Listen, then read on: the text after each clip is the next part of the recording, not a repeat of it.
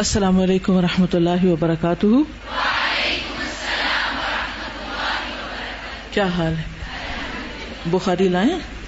चलिए, निकालिए फिर। नहमदुहु व नुसल्ली अला रसूलिहिल करीम, अम्मा बाद। फ़अऊज़ु बिल्लाहि मिनश शैतानिर रजीम। बिस्मिल्लाहिर रहमानिर रहीम। रब्बि शरह ली सदरी व अमरी। वहलुल उक़दतम हदीस नंबर सात सौ अठहत्तर सेवन सेवेंटी एट हदथना अब्दुल्लाह इब्न यूसुफ अखबरना मालिक अन इसहाक बन अब्दुल्लाह इब्न अबी तलहता अन्नहु समिअ अनस बन मालिक यकूल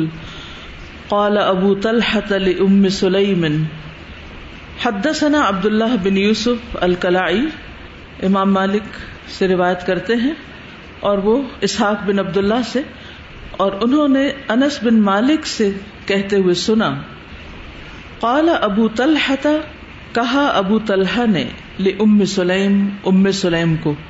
अबू तलहा इनके सुतेले फादर थे, उम्म सुलैम के दूसरे शौहर थे। लक़द समय तो सऊत रसूल सल्लल्लाहु दाइफन तहकीक मैंने सुनी रसूलुल्लाह सल्लल्लाहु की आवाज़ ज़ईफन कमज़ोर। यानी मैंने आपकी आवाज़ में कमज़ोरी पाई है। आरिफ फ़ी हिल जुआ। मैं पाता हूँ कि उसमें भूख के असरात हैं। यानी भूख की वजह से आपकी आवाज़ बहुत कमज़ोर हो रही है। फहल इंद की मिनशई क्या तुम्हारे पास कोई चीज़ है? यानी खाने की कोई चीज़? कालत नाम। कहने लगी, जी हाँ।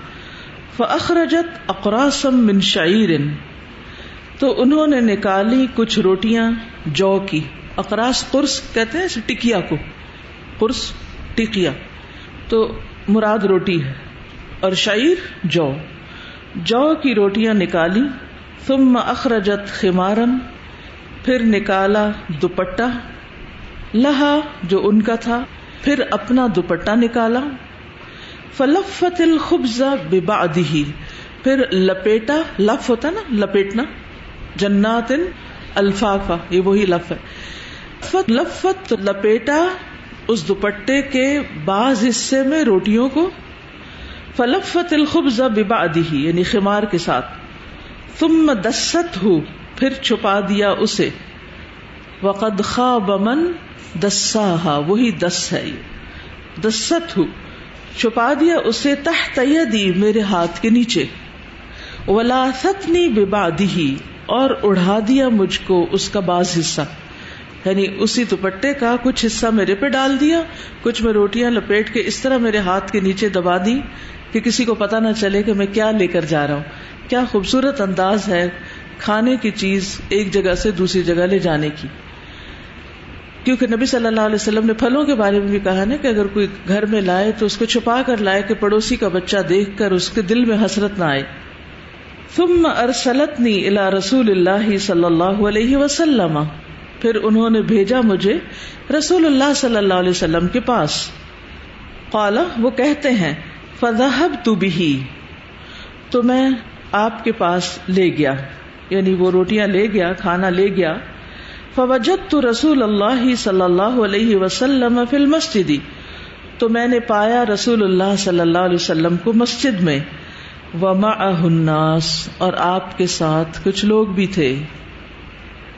आप भूखे थे, लेकिन आपने अपना काम नहीं छोड़ा। आप कमज़ोरी महसूस कर रहे थे, लेकिन इसके बावजूद लोगों के बीच में बैठे हुए थे, मस्जिद में थे। घर में जाके लेटे हुए नहीं थे। जब हमें रोजा लगता है तो फिर हम क्या करते हैं? वैसे तो हमें भूख का तजुर्बा कम ही कभी होता है, क्योंकि हर वक्त खाने को कुछ न कुछ मैसर होता है।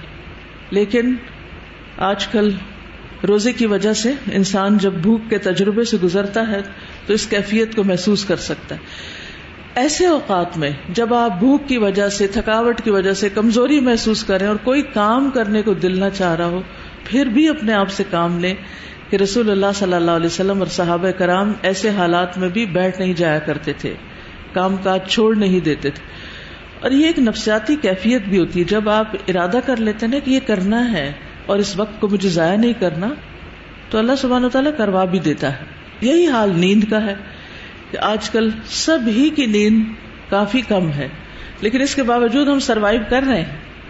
और इसका मतलब है कि हमारे अंदर इतनी गुंजाइश, ताकत अल्लाह ने रखी है कि हम अपनी कुछ नींद कंट्रोल करके कम कर लें, और इसके बावजूद हम बाकी रूटीन के काम करते रहें। लेकिन मुश्किल यह है कि हम अपने आप को बहुत ढील देते हैं। और पहले से ही जहनी तौर पर, नफसियाती तौर पर हम रिज्यूम कर लेते हैं कि ये हम कर नहीं सकेंगे। हिम्मत में कमज़ोरी होती है, हमारे इरादों में कमज़ोरी होती है सेल्फ पिटी का शिकार होते हैं। लिहाजा जो करने का काम होता है, जो कर भी सकते हैं तो वो करते नहीं। तो अपना मुराकबा करने, अपना मुहासबा करने और अपने साथ जो स्ट्रगल करना है वन हन नफसा अनिल हवा व इन्नल जन्नत अहियल मावा तो इसके लिए एफर्ट लगाए। हम में से हर एक जो इस पूरे महीने के इस तजुर्बे से गुजर रहा है कि दो बड़ी चीज़ों की कुर्बानी दे रहा है, अपने खाने की और अपने आराम की, नींद की। तो इसका कुछ न कुछ हिस्सा तो रमज़ान के बाद हमारी ज़िंदगी का हिस्सा बनना ही चाहिए। यानी हमें अपनी कुछ बुरी आदतों को जो खाने से मुतलिक है, जिनकी वजह से हमें कई बीमारियाँ लाक रहती हैं, और जो गैर ज़रूरी आराम और सुस्ती की वजह से हमें लाक है, और जो हमें आगे नहीं बढ़ने देती, उन पर जब हमें एक तरह से ज़बरदस्ती कंट्रोल करवाया जा रहा है तो आगे भी इनको कंट्रोल में रखना है इनशाला और यही चीज़ फिर मोमिन की तरक्की का बायस बनती है। वो कहते हैं कि फवजत तो रसूल अल्लाह वसल्लम फिल मस्जिदी वमा और आपके पास लोग थे मस्जिद में।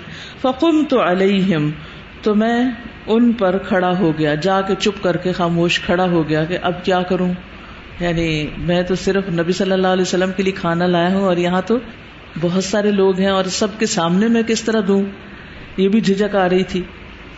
फ़काल अली रसूलुल्लाह सल्लल्लाहु तो मुझसे रसूलुल्लाह सल्लल्लाहु ने फरमाया अरसला का अबू तलहा, तुम्हें अबू तलहा ने भेजा, क्योंकि वो थोड़ी देर पहले ही मस्जिद से गए होंगे घर। तो नबी सल्लल्लाहु को मामला समझ आ गया। इसको कहते हैं फरासत। यानी दूसरों की मूवमेंट से, दूसरों के तरीकों से एक अंदाज़ा लगा लेना कि ये क्या हो रहा है। कुछ चीज़ें वो होती हैं जो ज़ाहिर नज़र आती हैं। और कुछ चीज़ें ऐसी होती हैं जो इंसान को दिल की बसीरत से नज़र आ रही होती हैं। और इंसान दूसरे को बगैर उसकी कहानी और फरियाद सुने समझ जाता है कि क्या कहना चाह रहा है। फकुल तो नाम तो मैंने कहा कि जी हाँ काला बितामिन देखिए, यहाँ तक आप समझ गए। यानी आपने उनका हाल उलिया देख के हज़रत अनस का और अंदाज़ा लगा लिया कि ये क्या हुआ है। और वैसे भी कुछ लोग इतने कर्टियस होते हैं कि जिनसे खैर ही की तो होती है, कि इनको हमारी जरूरियात का ख्याल है। तो अबू तलहा भी उन्हीं लोगों में से थे। और उनकी वालदा भी, उम्म सुलैम भी। उम्म सुलैम को नबी सल्लल्लाहु अलैहि की यानी ज़रूरत का कितना अंदाज़ा था कि जब वो मदीना तशरीफ़ लाते हैं तो अपने बच्चे को पहले से ही तैयार करके रखा हुआ है और उंगली पकड़ के ले जाती हैं।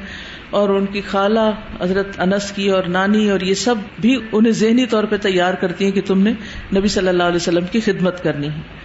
तो हर तरह के लोग होते हैं। कुछ लोगों को इंसान बता बता के अपनी ज़रूरत बताता है और उन्हें समझ नहीं आती।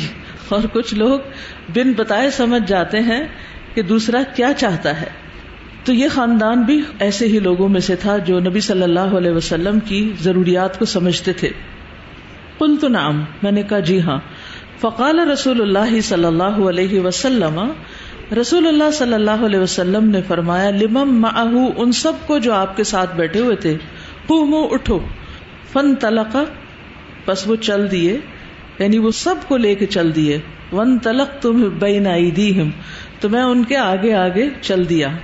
हत्ता जितु अबा तलहता यहाँ तक कि मैं अबू तलहा के पास आ गया। फ अखबर तुहू तो मैंने उनको खबर दी कि आप सल्लल्लाहु अलैहि वसल्लम सारे साथियों समेत आ रहे हैं। फ़काल अबू तलहा तो अबू तलहा ने कहा, या उम्म सुलैम, ए उम्म सुलैम कज्जा रसूलुल्लाह सल्लल्लाहु अलैहि वसल्लम बिन्नासी रसूलुल्लाह सल्लल्लाहु अलैहि वसल्लम लोगों समेत आ गए हैं। वलईसा इंदना मानुत एमुहम और हमारे पास वो कुछ नहीं कि हम उन्हें खिला सकें। हमारे पास इतना खाना ही नहीं कि हम उन्हें पेश कर सकें। फ़कालत अल्लाह व रसूल आलम। कहने लगी, अल्लाह और उसका रसूल ज़्यादा जानता है। क्या खूबसूरत जवाब है। आमतौर पर ऐसे मौके पर जब घर में मेहमान आ रहे हों या कुछ एक्स्ट्रा काम हो जाए तो मर्द हजरात उमूर खानादारी के मामला में घबरा भी जाते हैं और एक तरह से ज़्यादा कॉन्शियस हो जाते हैं पैनिक हो जाते हैं या जल्दी करने लगते हैं। मुझे याद है अपने वालिद का, जब भी कोई मेहमान आते तो मेरे वालिद बस किचन में आके खड़े हो जाते थे। जल्दी करें जल्दी करें जल्दी करें। तो उसमें यह है कि मर्दों को शायद उनका अपना एक तरीका होता है अपना एक अंदाज होता है और वो चीज़ों को और तरह करना चाहते हैं। तो ये खातन की समझदारी होती है कि ऐसे मौके पर अपने हौसले को बरकरार रखें और घर वालों को तसल्ली दें कि हो जाएगा सब कुछ, पूरा भी हो जाएगा, सब निबट जाएगा, ना कि वो खुद भी साथ उस परेशानी में शरीक हो जाए। उन्होंने जवाब ये नहीं कहा कि हाँ अब क्या होगा, अब क्या होगा? नहीं। उन्होंने कहा, अल्लाह और उसका रसूल बेहतर जानते हैं। अगर अल्लाह के रसूल सल्लल्लाहु अलैहि वसल्लम ले आए हैं तो फिर कुछ काम भी आसान हो जाएगा और ये वक्त गुजर जाएगा। कोई फ़िक्र की बात नहीं। फन तलक अबू तलक या रसूल अल्लाह सल्लल्लाहु तो आगे बढ़े अबू तलहा, यहाँ तक के रसूल सल्लल्लाहु अलैहि वसल्लम से मिले। अब एक तरह से बाहर निकल के उनका इस्तकबाल कर रहे हैं क्योंकि हज़रत अनस ने आके पहले से ही बता दिया है। तो वो बात करके वापस जाते हैं। फ़अकबल रसूल सल्लल्लाहु अलैहि वसल्लम व अबू तलहा तमाहू। तो रसूलुल्लाह सल्लल्लाहु अलैहि वसल्लम तशरीफ़ लाते हैं और अबू तलहा उनके साथ आते हैं। इकट्ठे ही फिर घर दाखिल होते हैं। फ़काल रसूलुल्लाह सल्लल्लाहु अलैहि वसल्लम तो रसूलुल्लाह सल्लल्लाहु अलैहि वसल्लम उम्म सुलैम को फरमाते हैं हलुम्मी लाओ या उम्म सुलैम ए उम्म सुलैम माँ इंदा की जो भी तुम्हारे पास है अब ये खातून खाना का शोबा है इसलिए बराह रास्त खिताब उम्म सुलैम को करते हैं आप हज़रत अबू तलहा को नहीं परेशान करते कहते उम्म सलम तुम्हारे पास जो कुछ है बस ले आओ फ़अतत बिदालिकल खुब्स तो वो उसी रोटी को ले आई फ़अमर अबी रसूलुल्लाह सल्लल्लाहु अलैहि वसल्लम तो रसूलुल्लाह सल्लल्लाहु अलैहि वसल्लम ने हुक्म दिया फफुत्ता तो टुकड़े कर दिए गए फत्ता अरबों के यहाँ वो चूरी या उस शोरबे के अंदर टुकड़े करके जो डालते हैं ना उस खाने के लिए भी इस्तेमाल होता है वह असरत और उन्होंने नचोड़ा उंडेला उम्म सुलैम उम्म सुलैम ने उक्कतन कुप्पी को कुप्पी छोटा सा कप होता है जिसमें घी वगैरह रखते हैं फदमत हु तो उसका सालन बना दिया। रोटियों के टुकड़े कर दिए और उसके ऊपर घी डाल दिया और वो खाने के लायक हो गई, सालन बना दिया। तुम मकाल रसूल सल्लल्लाहु फ़ी माशा अल्लाह यकूला। फिर कहा रसूलुल्लाह सल्लल्लाहु अलैहि वसल्लम ने उसमें जो अल्लाह ने चाहा कि वो कहें। कहने से मुराद यहाँ कोई दुआ है और जो कुछ भी पढ़ा आपने उस खाने के ऊपर, बरकत के लिए। तुम मकाला फिर फरमाया यानी वो जो भी प्लेट या जिस भी चीज़ में रोटियों के टुकड़े थे और ऊपर घी डला हुआ था उसको रख के फरमाया ए आशरतिन दस लोगों को अंदर बुला लो लहुम तो अबू तलहा ने उनको इजाज़त दी अंदर आने की फ़अकलू तो उन्होंने खाया दस के दस ने खाया हत्ता शबू यहाँ तक के सैर हो गए पेट भर गया तुम खरजू फिर वो निकल गए तुम काला ए आशरा फिर फरमाया, दस और को बुला लो। फ़अदिन लहुम, तबू तलहा ने उनको इजाज़त दी। फ़अकलू तो उन्होंने भी खा लिया। हत्ता शबू यहाँ तक के पेट भर लिया। तुम खरजू, फिर वो चले गए, निकल गए। तुम काला ए आशरा और दस को बुला लो। फ़ुदिन लहुम तो उनको इजाज़त दी गई। फ़अकलू तो उन्होंने खाया। हत्ता शब तुम खरजू, यहाँ तक कि वो भी सैर हो गए और उनका पेट भर गया। फिर वो भी चले गए। तुम मकाल आशरा फिर फरमाया, दस और को बुला लो। फ़अकल कौम कुल्लुहुम। तो सब के सब लोगों ने खाना खाया। अस्सी लोग जिसके दरवाजे पे खड़े हों और उसके घर में खाने के लिए रोटियों के चंद टुकड़े हों, जिन पे घी डाला गया हो तो क्या सीन होगा? सबने खाया। हत्ता शबू यहाँ तक के वो सैर हो गए। वल कौम सब और लोग सत्तर औ समानून या अस्सी रजुलन शख्स थे। और कहते हैं कि फिर भी खाना बच रहा। फिर अबू तलहा और उम्म सलैम ने भी खाया, नबी सल्लल्लाहु अलैहि वसल्लम ने भी खाया। खाना फिर भी बच गया और उन्होंने उसको अपने हमसायों के यहाँ भेज दिया। ये है बरकत। ये है नबी सल्लल्लाहु अलैहि वसल्लम का मुआवजा। इन उसरी युसरा। तंगी के साथ आसानी भी है। लेकिन ये आसानी कैसे आती है? कुछ हीला करने से। कोई सबब इख्तियार करने से, कोशिश करने से। अब भूख लग रही है। आप अपना काम कर रहे हैं। दूसरा शख्स आपके बारे में सोच रहा है। वो जाकर खाने का बंदोबस्त कर रहा है। आपके लिए खाना भेज रहा है। लेकिन आपको सबकी फ़िक्र है। सिर्फ़ अपनी नहीं, कितनी बड़ी बात है। आप सबको लेके चले जाते हैं। अबू तलहा थोड़ा सा घबराते हैं, लेकिन उम सलैम जरा भी घबराती नहीं। फिर एक तरीका इख्तियार करते हैं कि किस तरह उसको सबके लिए रीच के काबिल बनाया जाए सब उस तक पहुँच सके तो टुकड़े कर दिए जाते अब अगर चार रोटियाँ थी, मसलन ये पाँच थी, और वो वैसे रख दी जाती है, लोग खुद तोड़ते तो और बात थी। अब ये कि इन्होंने तोड़ के उसको फैला दिया, और ऊपर घी भी डाल दिया। अब वो पूरी एक डिश तैयार हो गई। और अब कितनी ज़बरदस्त ऑर्गेनाइजेशन है, मैनेजमेंट है कि दस दस लोग आए। जो आराम से बैठ के खाएँ, बाकी इंतज़ार करें, दस आए, फिर जाएँ, दस और आए, फिर जाएँ, और इस तरह सबको सर्व कर दिया जाए। और फिर आखिर में घर वाले खुद भी खा लें, और फिर हमसायों को भी दे दें।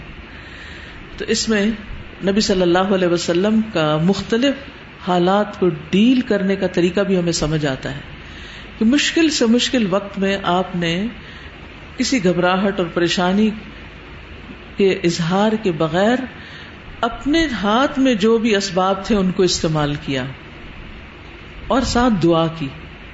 तुम मकाला जो भी अल्लाह ने चाहा कि वो कहें और फिर उसके बाद उसको खाया।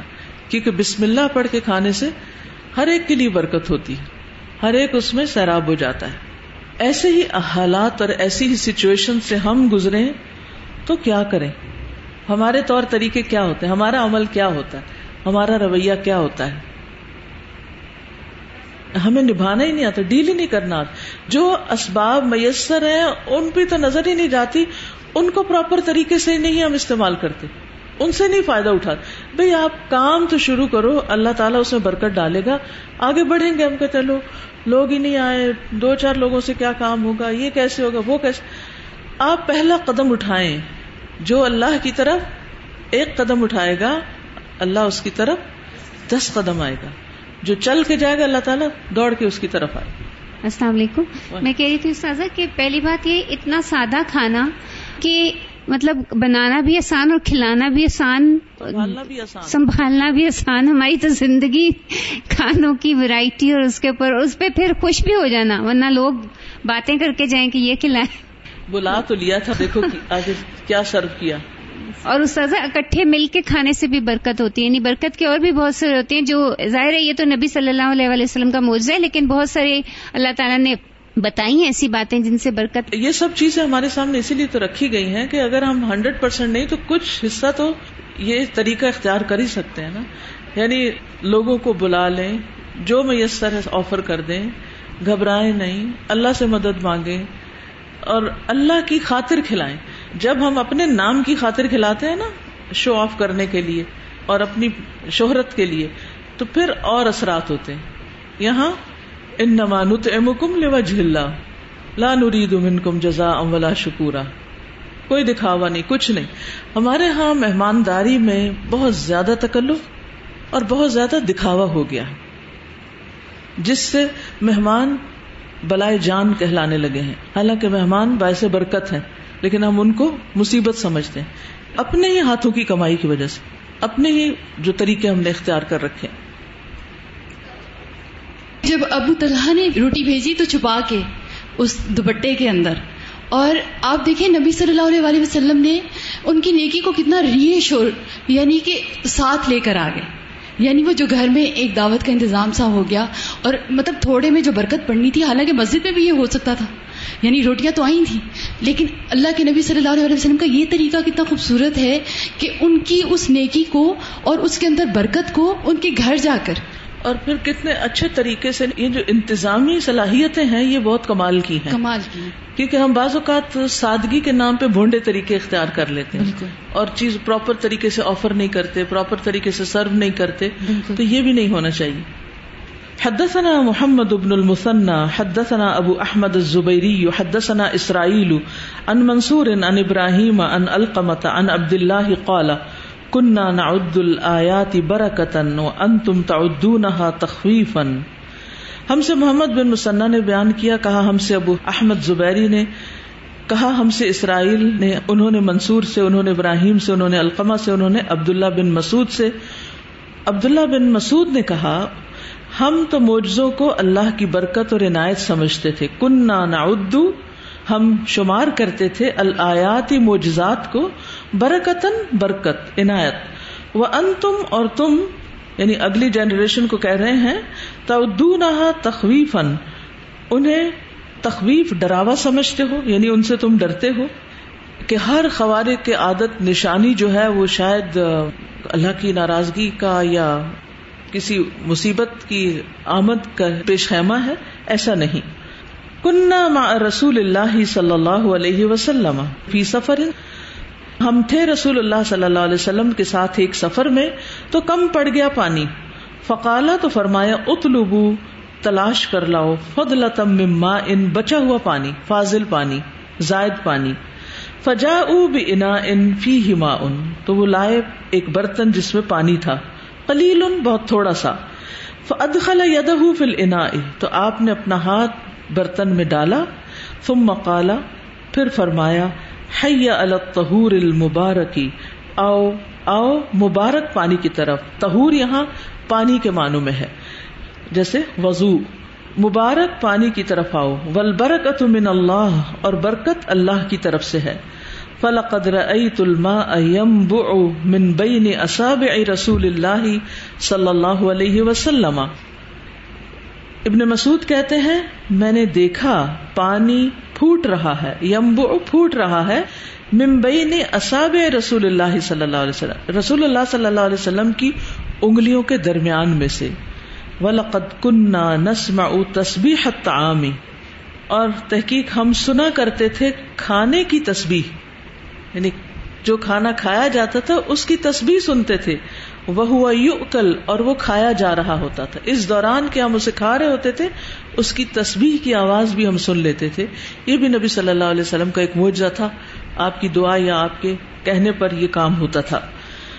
अगर इन सारे मुआजात को इकट्ठा करें तो एक अच्छी भली किताब बन जाए। इसमें हम देखते हैं कि कुरान मजीद में आता ना इमिन शईसबहमदी वला किल्ला तफकहू न तस्वीर हूँ कि कोई चीज़ ऐसी नहीं कि जो तस्वीर न कर रही हो, मगर तुम उनकी तस्वीर को समझते नहीं। तो बाज़ात नबी सल्लल्लाहु अलैहि वसल्लम ने वो तस्वीर सुनवाई सहाबा को, यकीन में इजाफे के लिए, मुआवजे के तौर पर। लेकिन कुछ मुआजात जो थे, वो बहुत ज़ाहिर और वाजे थे, जो सबको नज़र आए। न सिर्फ़ उन मुसलमानों को जो आपके आसपास थे, बल्कि औरों को भी, जैसे शक् कमर का मुआवजा। या इसी तरह मस्जिद के अंदर उस दरख्त के तने के रोने की आवाज इसके अलावा भी बहुत सी चीजें हदसना अबू नुआईम हदसना जकरिया हदसनी आमिर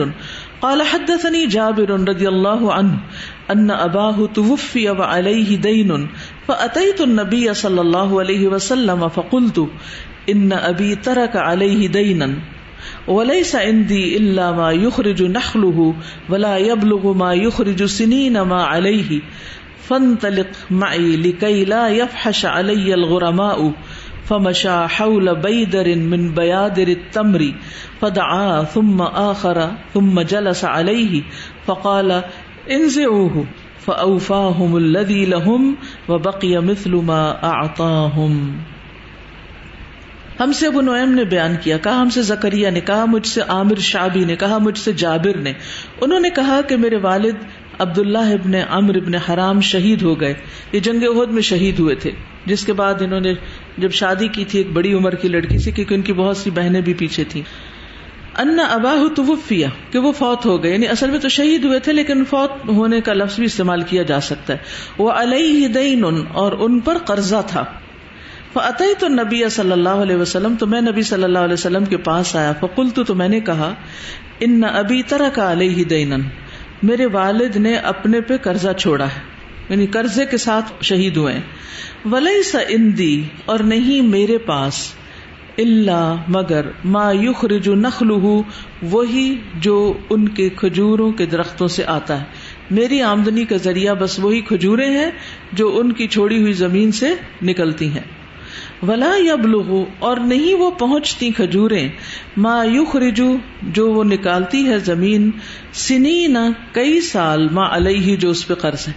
यानी वो पैदावार इतनी नहीं कि जिससे कर्ज उतारा जा सके, ये तो सिलसिला कई साल तक चला जाएगा। यानी तो बहुत थोड़ी होती है जो निकलती है। फन तलिक माई, आप मेरे साथ चले। लिकई ला यफ अलैया ताकि ना बदजबानी करें मुझ पर अलगुरामा कर्ज खा। कर्ज का मुतालबा करने वाले जिन्होंने कर्ज दिया था, वो मेरे साथ बदतमीजी ना करें, बदकलामी ना करें, बदजबानी ना करें तो आप मेरे साथ आए कि मैं उनके साथ निपटू। फमशा तो आप चल दिए। वो परेशानी में थे, आप उनकी मुश्किल आसान करने के लिए उनके साथ चल दिए। दरिन मिन बयादर तमरी। खजूरों के ढेरों में से एक ढेर के इर्द गिर्द चलने लगे। यानी आप सल्लल्लाहु साथ गए और फिर आपने क्या किया? जहाँ खजूर का ढेर था, टोटल खजूर थी उसके, कुछ ढेर बना दिए और एक ढेर के इर्द गिर्द आपने चक्कर काटा, चलने लगे। फत आ फिर दुआ की। तुम आखरा, फिर दूसरे ढेर के इर्द गिर्द ऐसे ही आप चले और दुआ की। तुम जलस ही फिर उस पर बैठ गए, यानी उसके पास बैठ गए। फकाला तो फरमाया, किससे? कर्ज खाहों से। इनसे ओह इसे निकाल लो। यानी ले लो। यानी खजूर निकालो। फऊफा हम तो उन सबको पूरा पूरा दे दिया, जितना जिसका कर्जा था। जिसने जितना कर्जा दिया हुआ था, सबको उतना उतना पूरा करके लौटा दिया। अल्लदी लहुम, वो जो उनका हक था। वह बकिया और बच भी गया। मिसलुमा आता हम जितना उनको दिया था, उसके बराबर बच भी गया। ये थी बरकत। ये भी एक मुआवजा था कि सब कर्जखाओं को तोल तोल कर दे दिया गया, उनका हक लौटा दिया गया और फिर भी खजूरें बच गईं। इसमें भी क्या चीज़ आपको कॉमन नज़र आती है पिछली हदीस और इसमें? कोई वन कॉमन थिंग दुआ। अल्लाह की मदद से ये हुआ। क्योंकि मोजात अल्लाह की तरफ़ से होते हैं, बरकत अल्लाह की तरफ़ से आती है। इसलिए अल्लाह का नाम लेना ज़रूरी है, ताकि कोई ये ना समझे कि ये आपका जाती कमाल था। यानी ये आपका कोई जाती कमाल नहीं था, अल्लाह ने आपको ये फजीलत बख्शी थी और आपने अल्लाह से मदद मांगी थी। अच्छा अगर हमसे कोई अच्छा काम हो जाए तो उसके बाद किस किस्म की खुशी का इजहार करते हैं और किस किस्म के एहसास और जज्बात रखते हैं या ख्यालात रखते हैं। जब हम कोई भी किसी की मदद कर दें या किसी के काम आ जाए या हमसे कोई काम सर अंजाम पा जाए, कुछ अचीव कर लें, सारा क्रेडिट खुद को देने लगे। उस वक्त लिटरली हम अल्लाह को भूल जाते हैं। ये मुँह से निकालना भी भूल जाते हैं कि अल्लाह के फजल से दुआओं का नतीजा है, अल्लाह के फजल से हुआ है, अल्लाह की रहमत हुई है, अल्लाह ने बरकत डाली है। ये हमारी गुफ्तगु में कम ही होता है। उस वक्त मैं मैं मैं हो जाता है। मैंने पहले ये किया, फिर मैंने ये किया, फिर मैंने ये किया। सारी अपनी तदबीरें बताते। भाई, तदबीर तो लाजिम है, वो तो करनी है। लेकिन आपकी तदबीर कुछ नहीं कर सकती। सूरत तकबीर में क्या पढ़ा है? वमा तशाऊन इल्ला अल्लाह रब्बुल आलमीन। तुम्हारे चाहने से कुछ नहीं होता, जब तक कि रब्बुल आलमीन न चाहे। तो मोमिन हर मौके पर अल्लाह से मदद तलब करता है। हर मुश्किल घड़ी में अपने ऊपर हो, ये दूसरों के लिए हो। और फिर आप सल्लल्लाहु अलैहि वसल्लम का ये किरदार कितना ज़बरदस्त है कि आप अपने मुसीबत जदा साथियों की मदद करते हैं।